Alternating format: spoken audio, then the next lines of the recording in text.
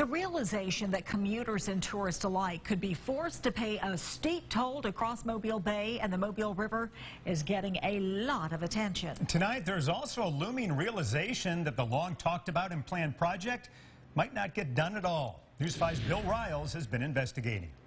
In our On the Street survey, opinions about a 3 to $6 toll on the proposed Mobile Bay Bridge and Bayway project are split among local people. If that means less traffic getting uh, getting home to Baldwin County, I certainly would. We, do, we don't need to pay a toll for a bridge. Among tourists. But it probably wouldn't stop me from coming.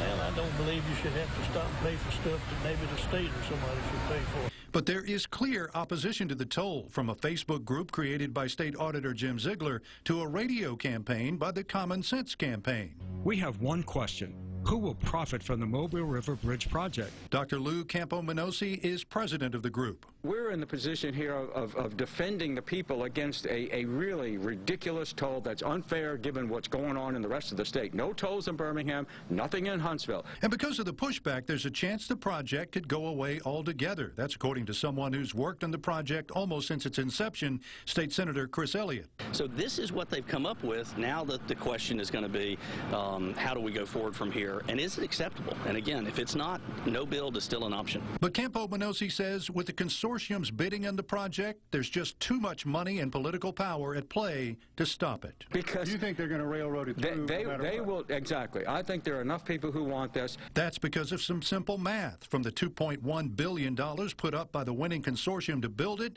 with the tolls, the return on investment would be tremendous over a 50-year period. You're talking about just shy of, of 10 billion dollars. Mm -hmm. Well, that's entirely too much profit if if that's what we're looking at. Now, there are still a lot of unanswered questions about the bridge project, and in the coming days, we'll be taking a look at some of those unknowns, such as why there appears to be no federal money involved in a project on what is essentially a federal highway.